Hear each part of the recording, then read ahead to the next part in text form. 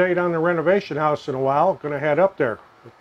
Post light's ready to go, except for one piece of glass I need to put in yet. Not doing that today because it's raining, but I've got this new uh, DJI Osmo action camera and I want to do some testing with it. utility company's supposed to show up today and change over the service. Even though it is raining, we'll see how that pans out, but gonna head up there.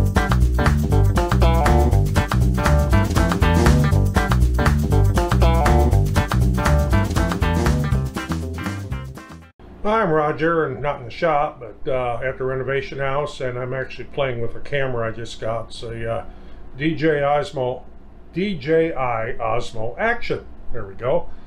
And I intended to originally do the test outside, and yes, this is waterproof, but it's raining, and I don't want to get all wet.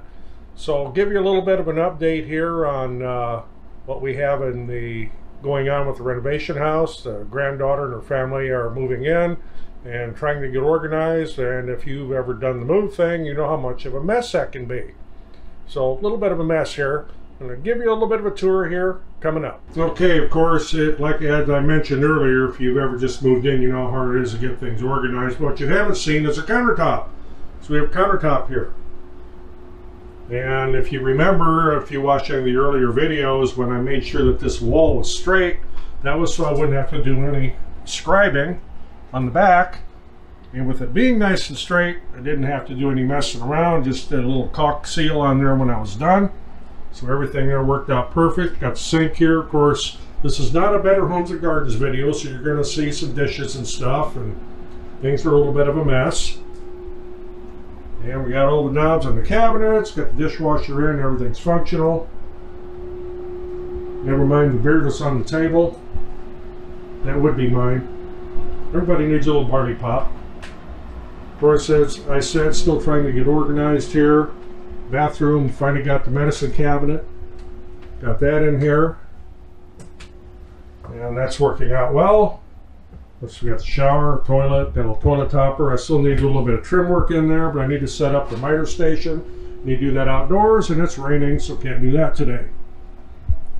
Moving on in here to the dining room. Of course, once again, I said they're moving in, so everything's kind of a helter-skelter thing, but it has turned out very well. And yesterday, or the day before yesterday, get a little light going on in here. This is the great-granddaughter's bedroom. We got carpet in here now. No, I do not like carpet. I have that done. I have no desire whatsoever to be a carpet layer. Oh, got the new door on here and great granddaughter's little bed over there in the corner. And a real neat purple walls with purple curtains, but it's a little girl.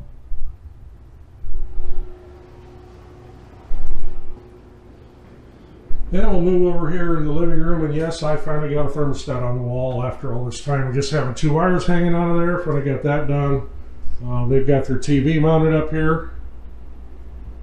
And still got some trim work to do, got some finish work to do and still trying to get organized, but it's coming along. We've got a lot of finish work to do around that front door, and I still have the front porch to work on. Uh, also have carpet in the master bedroom here. That's all done and up. A little shelf thing I made uh, to replace those uh, glass doors that were there. So this turned out real nice. So this is what we have now instead of those uh, glass doors that were on the bedroom before. So I think this turned out pretty good. Okay, so here I am in the laundry room. And of course we got totes piled up because like I said, they're moving in. And if I can get turned around over here, it's kind of a small room. There are some cabinets that are going to get put on that wall and my intent was to build them. Uh, a couple of 30 by 30 cabinets. And I went and priced plywood uh, yesterday. It's $100 a sheet. So do I want to uh, go through all the work of building my own cabinet when plywood's $100 a sheet, or I can go buy unfinished cabinets for $87 a piece and just paint them white. So maybe going that route. However, on this other wall that's above the washer and dryer over here, I have to build a couple of uh, custom cabinets to go around where that beam protrudes up there, and those I'll need to make, and I'm also going to make them 16 inches deep uh, to be able to reach out past the front of the washer so you can access them easy. But that's a little update on the laundry room. So the purpose of me actually being out here today, and of course this was scheduled ahead, we didn't know it was going to be raining like this, was to get this, the electric service changed over on the outside by the utility company. And because of the rain, they have canceled. Now I have to be rescheduling this for tomorrow and I'll be able to get rid of this old panel over here. So still got this old uh, panel over here and it's got a little temporary feed over to the new panel. Once the utility company gets that swapped over tomorrow, I'll be taking out this old panel here and putting the cover and everything on the new panel. And the last thing we have to do electrically here, aside from my post light out front, which is a whole subject for another video, but I need to wire the garage. We need to get a proper feed out there and do some digging and trenching, and with it being this wet, yeah, that may be a little bit, needs to get done. That'll be subject of yet another video as we continue with the saga on this renovation house, and then after that will be the siding. Of course, the lighting out here is horrible, but I'll kind of give you an idea. We have, uh, there is an outlet behind this battery adapter here. It is not ground fault. It needs to be. This box is not mounted properly in the wall. Uh, this switch goes to a light, which I'll get into in a minute. Then we have another switch that I think is supposed to go to the outside security light, but it doesn't work. So we have a keypad for a garage door opener, but there's some details about that garage door opener. So as you can see, I've been into this and messed with it a little bit, and it, it doesn't work. The motor's burned up in it. And uh, it's made by Linear. Never heard of that one. Can't find any kind of information about it. Garage door openers are not that expensive. One thing uh, it also has is you go over here it's got a cord hanging down and there's absolutely no place up there to plug it in. I don't know what they had done in the past. Uh, there is some wire, actually it's not even wire, it's rope light that runs along that wall. It doesn't work, so that'll get taken down. The only light we have in this garage, you swung around here, is that little guy up there. And that's one of them uh, LED things you can screw in. So we're going to put some uh, regular lighting in here. I've got some uh, fluorescent fixtures that came out of a school that I'm going to be using. We'll pop, mount probably four of them in here and I'll convert them to LED like I did in the shop. And then we'll need to put some outlets around in here, here and there. Of course, got some windows to replace. And I've got some of my tools in here, of course. One of the problems we have is when it rains real heavy, if you see that there's the floor is a little wet here, is water runs in the door. And I'll show you why that is. Okay, I'm actually outside and it quit raining for a couple minutes, so still got a big pile of dirt I got to move from when we uncovered this driveway. Um, got some sawhorses out here, and this is where I set up my miter station for the work we're doing in there. So the, if you look here at the overhead garage door, you see that the driveway slopes towards it. And there's absolutely nothing I can do about that. It's just the way it's going to have to be. Uh, at some point, if they ever decide to replace this driveway, because it is broke up quite a bit, but at least it's not the grass and mud that it was before. That's an unusual thing where you pull in and then you can pull up here to this little spot, and then you can work your way around and drive into the garage. But right now there's too much stuff in there to do any of that kind of stuff. And that security light that I mentioned, that's that guy up there. That'll get changed. Uh, probably when we reside this garage, which is coming up yet this summer. Need some steps? These don't go anywhere. I got to get rid of these.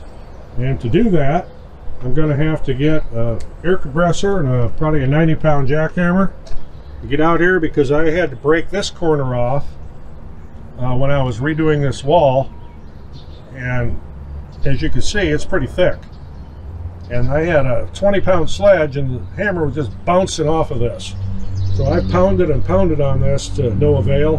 Hence gonna have to get that jackhammer out here and I am not looking forward to that because I'm getting a little old for that nonsense Okay, another little project that's going to be coming up are these basement windows. As you can see here, they're not in very good shape and they're old.